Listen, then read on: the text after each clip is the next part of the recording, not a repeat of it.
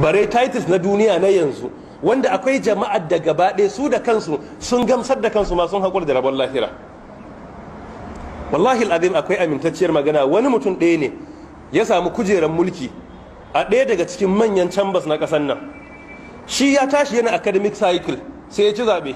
Ya taba ɗan albashinsa yana karɓa a jami'a dubu ɗari da yanka zuwa dubu ɗari biyu da yan kai tsanani ya kai ɗari uku ko wani abin da ya kama da wannan at that time. Da ya je can kawai yana zaune sai ya ga alat kuɗi ya shiga akawun ɗinsa. Miliyan nawa ya ga wajen miliyan goma sha biyar. Ya ce kai wannan kuɗin kuskure ne. Don shi bai taɓa tunanin ma zai mallaki miliyan biyar ba a duniya balle miliyan sha biyar. Ana zaune ba zai ba sai ya ga wani alat miliyan arba'in ya shiga. Sai buga abokinsa ya ce ni fa kuɗi na ta shiga akawun ɗina. Kuma fa ba a fara aiki ba ya ce nawaye ne? Ya ce naka ne. Ya ce namu duka gaba ɗaya ko na ni kaɗai? Ya ce ni kaɗai. Ni kaɗai? Ya ce eh. Ya ce shi bai gamsu ba sai ki taɓa kuɗin. Bayan sati sai ga 70 miliyan ya shiga akawun nan ya sake buga ya ce wani kuɗin fa ya shiga.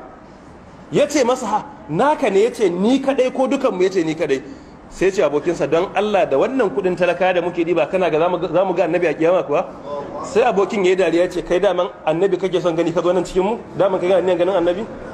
Wallahi ya ce haka ya gaya masa ya ce kai daman kana niyan ganin annabin ka zo nan? Ya ce haka ko ya ce a wallahi in dai annabi kake son gani wallahi tallahi ka bar wajen nan. Mai ganin annabi wallahi ba nan zai zo cikin ya zauna ba. In dai annabi kake son gani ce wallahi ka kwar da nan. Ya ce wallahi aminin sai ya gaya mar da ya shekara huɗu a wurin yanzu suka ci gaba da yi. Ya ce in dai dama akwai ganin annabi a ajandan ka a kiyama ya ce wallahi gaskiya nake gaya maka nan ba naka ba ne. Ya ce ko kun hakura ke ne ya ce ni dai ban gaya maka ba in dai kana da ajandan ganin annabi a kiyama to wallahi ka hakura ni dai ban ce ma komai ba shi kuma ka sauƙi. Wannan fa shine shi self examination da yawa kansa. Shi ya riga ya cire ganin annabi a cikin ajandarsa. Kuma ya ce duk mai son ganin annabi ya bar wurin nan in dai a nan ne ya ce wallahi wallahi in dai kana son ganin annabi ka hakura shi maka alkhairi. Ya ce ba wai magana ce ta wasa ba duk wanda ya buga cikin aminan sai su ce kuɗin ya maka yawa? Sai ya ce sai su yi dariya su ce kai ba kauye ne. Ya ce to waɗannan talaka suna kwana da yunwa suna kwana babu abinci asibiti ba magani mu zo muna ɗiban wannan kuɗin kuma mu ce Allah zai yarda da mu kuma mu ce talaka muke wakilta. Ya ce wallahi ba su muke wakilta ba yaudara su muke yi. Amma Umar bin al-Khattab shi amirul mu'minin ke gaya kansa ko kai takawa ko Allah ya maka azaba la tattaqiyanna Allah aw la yu'adhibannaka azaban shadida. Ko kai takawa ko ka je lahira Allah ya maka azaba. Don haka ƴan uwa ana kiran mu a kalle mu a ce maka akar makalla a'a ya shek wane a'a ya kai liman wane a'a ya kai ladan wane ko kuma ustazu wane.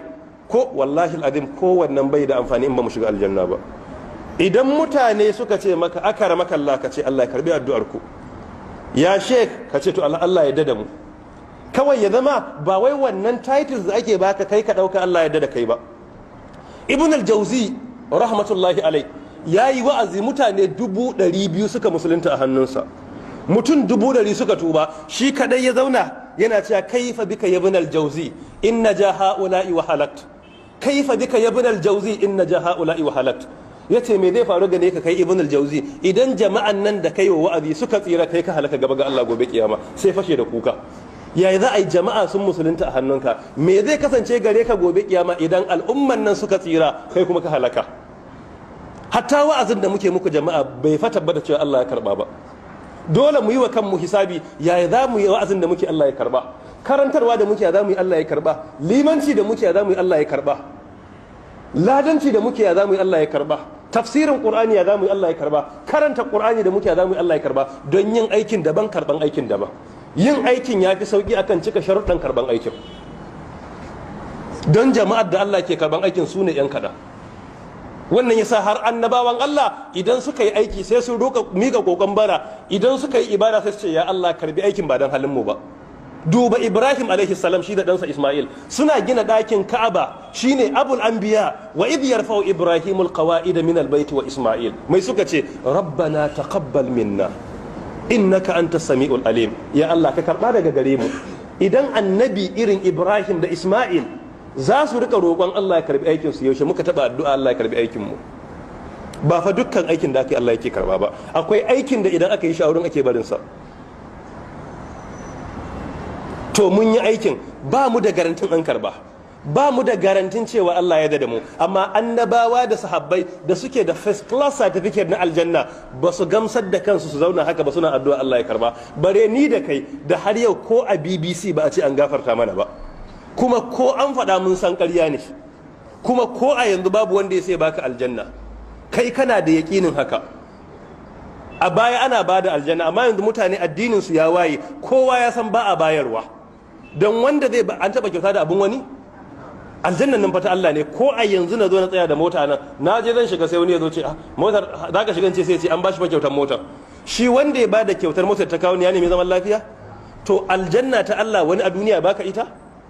Ai idan mutum ya ce baka aljanna ya saya ma recharge card ɗinka na MTN ko na 200 ko ku fita ya sama ma faro wata a nan ko soboro da na naira biyar wallahi ya fi zaman lafiya. Don wannan shi yake da yaƙini. Idan ya ce ya baka aljanna ya hana ka aiki ya sa ka yi sake reshe ba ganye ba kama iska dai. Ai in ka kama ganye ka riƙe wani abu ka sake reshe ka kama iska ne. Ai wanda ya kama ganye ya samu abin da ya riƙe to kai ba abin da ka riƙe ashe mu ya dace mu yi kanmu hisabi. Mu ya dace mu zargi kanmu. Mu ya dace mu yi wa mu wasiya da bin Allah. Duba Ibrahim alayhi salam ƴaƴansa yake wasiya zai bar duniya annabi ne fa. ƴaƴan annabawa ne. Jikokin annabawa amma wasiya yake musu. Am kuntum shuhada id hadara yaqub al maut id kada li banihi ma min ba'di. Qalu na'budu ilahaka wa ilaha abaika ibrahima wa isma'ila wa ishaqa ilahan wahida wa nahnu lahu muslimun. Malik bin dinar alaihi rahmatullah yana cewa rahimallahu abdan ataba nafsahu wa qala alasti sahibata kaza ya ce Allah yayi rahama ga duk bawan Allah da yake yi wa kansa hisabi yake zargin kansa yake aibata kansa ya ce wai ke ran nan ba ke ne rana kaza kika yi gulma ba? Wai ke ran nan ba ke ne rana kaza kika kalli sabon Allah a TV ba? Wai ke ran nan ba ke ne rana kaza kuskure ya faru ana taɗi kika zagi wani ba? Yace duk mutumin da ke wannan Allah ya masa rahama ya kama hanyar tsira. Saboda yi wa kai hisabi mu zargi kanmu ko wannan shine addini. Amma duk ranar da shaidan ya sa muka gamsu da mu mu ne alhali mu ba kowa ba ne to shaidan ya yaudare mu. Don akwai jama'ar da shaidan idan ya yi ƙoƙarin halakar da su ya gagare shi sai ya zo ya gamsar da su. Su ɗin nan bayan Allah ne na kware. Allah ya yarda da su. Sai ya ƙoƙarin raba su da Allah su gamsar da kansu. Su salihan bayi ne.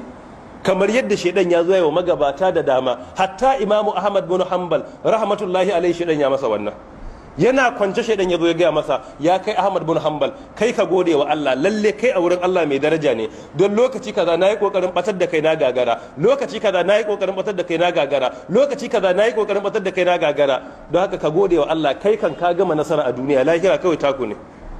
Ahmad bin hanbal a lokacin zai bar duniya yayin suka je na cewa la la la. Suna ba shi kalmar shahada la ila ila na cewa la. Ashe a lokacin ba su yake ji ba shi da shedan yake fada shedan na so tunda ya ƙoƙarin batar da shi gagara sai ya zo ya gamsar da shi wai ya dai shi mutumin ƙwarai ne. Ya je gaba ga Allah akan shi na ƙwarai ne yana ga aikinsa zai kai shi aljanna. Bayan annabi tsira da aminci sabbata a gare shi da kansa hadisin bukhari ya ce saddidu wa qaribu wa alamu annakum lan yanju ahadun minkum bi amalihi. Qalu walau anta ya rasulullah qala walau ana illa ayyata gama ne bi rahmatin min huwa fadlin idan an ce ku daidaita ku daidaita. In an ce ku yi ku yi. In an ce ku bari ku bari. Ku sani ba mai shiga aljanna don aikinsa. Sabai suka ce ko kai ya ce ko ni sai rahamar Allah ta kai ni. To idan Ahmad bin Hanbal ya amince shi na ƙwarai ne aikinsa zai kai shi aljanna. Ya saba bai kai darajar annabi ba.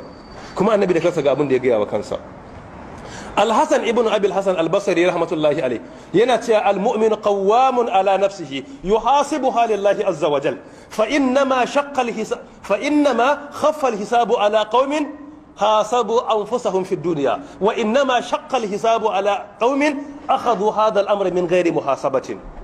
Yace almu'min shi mumini qawwamun ala nafsihi yana tsayawa tsayuwar daka wajen tarbiyyar kansa. Yana tsayawa tsayuwar daka wajen kula da me? Kula da kansa. Wallahi azim muhimmancin ranka da ruhinka yafi muhimmancin akawun ɗinka. Mutane da akawun ɗinsa zai je shi yana sa atm ka yana ɓoye password ɗinsa kada wani ya gani